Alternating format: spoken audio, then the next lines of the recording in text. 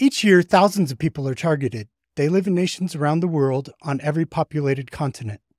If they are lucky enough to survive, they face an uncertain future. From roaming village to village to being placed in prison, or so called witch camps, for their own safety, their lives are never their own.